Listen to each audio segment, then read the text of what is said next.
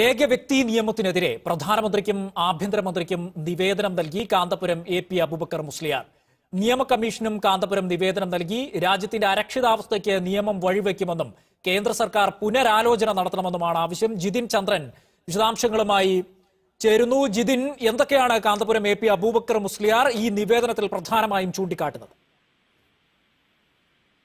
റാഷിദ ഏക വ്യക്തി നിയമത്തിൽ ആശങ്ക അറിയിച്ചും ഈ വിഷയത്തിൽ കേന്ദ്ര സർക്കാർ പുനരാലോചന നടത്തണമെന്ന് ആവശ്യപ്പെട്ടുമാണ്. കാന്തപുരം എ പി അബൂബക്കർ മുസ്തിയാർ ഇപ്പോൾ പ്രധാനമന്ത്രിക്കും ആഭ്യന്തരമന്ത്രിക്കും നിയമമന്ത്രിക്കും ഒപ്പം നിയമ കമ്മീഷനും നിവേദനം നൽകിയിരിക്കുന്നത്. രാജ്യത്തെ ബഹുസ്വരതയും വൈവിധ്യങ്ങളും ഇല്ലാതാക്കാനും അരക്ഷിതാവസ്ഥ വയ്ക്ക വഴിവെക്കാനും ഈ ഏകീകൃത വ്യക്തി നിയമം കാരണമാകുമെന്ന് കാന്തപുരം ഈ നിവേദനത്തിൽ ചൂണ്ടിക്കാണിക്കുന്നു. രാജ്യത്തെ ഭൂരിപക്ഷ ന്യൂനപക്ഷ വേർതിരിവില്ലാതെ എല്ലാ വിഭാഗങ്ങളെയും സർക്കാർ ഒരുപോലെ പരിഗണിക്കണമെന്നും നിവേദനത്തിൽ കാന്തപുരം ആവശ്യപ്പെടുന്നുണ്ട്.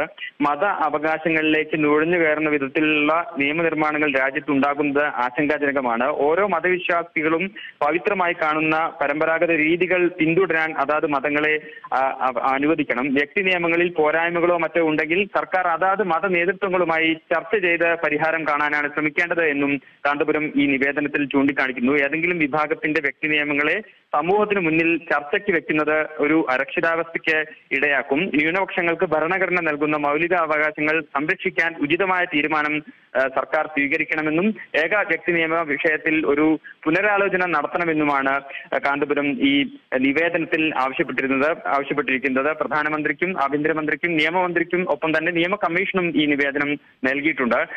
ഏക വ്യക്തി നിയമത്തിൽ പ്രധാനമന്ത്രിക്ക് നിവേദനം നൽകുമെന്ന് സമസ്ത ഇന്ന് അറിയിച്ചിരുന്നു. അതിന് ഇടയിലാണ് ഇപ്പോൾ എ പി അബൂബക്കർ മുസ്ലിയാർ പ്രധാനമന്ത്രിക്ക് നിവേദനം കൈമാറിയിരിക്കുന്നത്.